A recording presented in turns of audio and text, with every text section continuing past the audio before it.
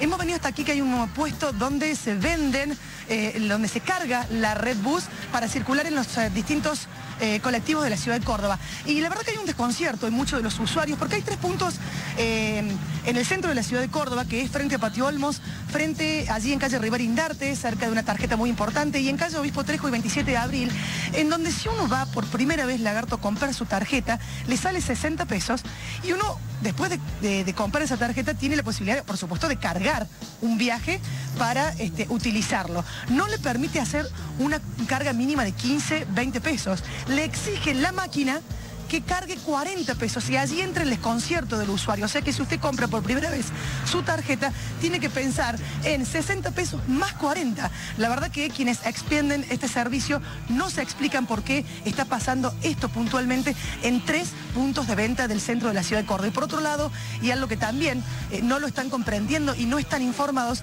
es que usted recuerda que puede tener un saldo negativo de dos viajes. Bueno, ahora para poder cargar la tarjeta, usted le va a cargar el dinero que corresponde automáticamente la tarjeta va a sacar esos dos pasajes y recién usted le va a poder hacer la carga habitual. Así que la verdad que hay desconcierto en muchos puntos de venta y en muchos usuarios en la ciudad de Córdoba.